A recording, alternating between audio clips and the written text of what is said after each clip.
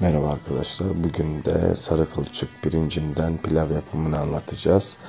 Ee, daha önceden ıslamış olduğumuz, yaklaşık 2 saat önceden ıslamış olduğumuz pirinçleri büyükçe bir kap yardımıyla e, yıkadıktan sonra süzüyoruz ve daha önceden kaynatmış olduğumuz suya e, su hazırlıyoruz. Bu suyumuza pirinçleri salma yöntemi ile e, pirinçlerimizi koyacağız ve salarak pişireceğiz. Ve tereyağını da dediğimiz gibi tereyağı çok önemli. Sarı kılçıkta tereyağı oldukça önemlidir. Gördüğünüz gibi bu şekilde salıyoruz. E, kaynamış suyun içerisine. E, kesinlikle sarı kılçık pirinci e, tavada kızartılmaz, e, kavurulmaz. Hiçbir şekilde tamamen suyun içerisine salınarak yapılır. Yaklaşık e, olarak ölçü nedir sarı kılçık pirincinde? Sarı kılçık pirincine bir bardak pirince iki bardak sudur.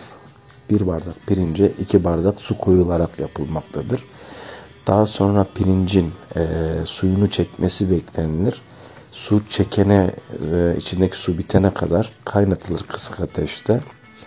E, ölçü önemli dediğim gibi e, bir bardak pirince iki bardak su. Sarı kılçık pirinci suyu ve tereyağını çok sever. Daha sonra piştikten sonra bol tereyağı üzerine dökülerek e, yağlanır. Bu şekilde yağladıktan sonra e, sarı kılçık tereyağını çok sever. Bol tereyağlı olur sarı kılçık pirinci.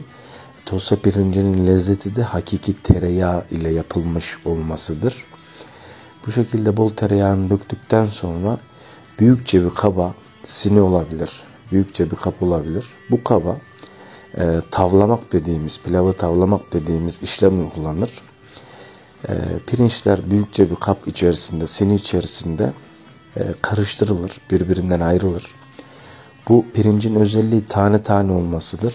Tabi pişirilmesi çok önemli. Dediğim gibi kesinlikle ama kesinlikle tavada kavrulmamalıdır tamamen salma yöntemiyle yapılmalıdır.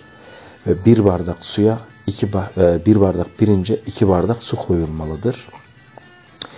Bu şekilde güzelce tavlanılır pirinç. Bu şekilde tavladıktan sonra e, yemeğe hazır hale gelecek. Gördüğünüz gibi e, büyükçe bir kapta e, aslında tahta kaşık kullanılırsa evlerde yaptığınız zaman pirincin de kırılmasını da engeller. O şekilde e, bir ölçüye iki su. Yani bir bardak pirinç koyuyorsanız iki bardak su koyacaksınız. Ve e, bol tereyağını sever bu pirinç. Tosta pirinci sarı kılçık ata tohumudur. E, şeker oranı oldukça düşük bir pirinç. Ondan dolayı çok tercih ediliyor. Daha sonra yemeğe hazır. E, sarı kılçık pirinci üzerine et suyuyla nohutla, fasulyeyle her türlü tüketilebilir. Tane tane olur, tek başına bile oldukça lezzetli olur. Afiyet olsun. Gerçekten güzel bir pilav oldu. Hepinize afiyet olsun.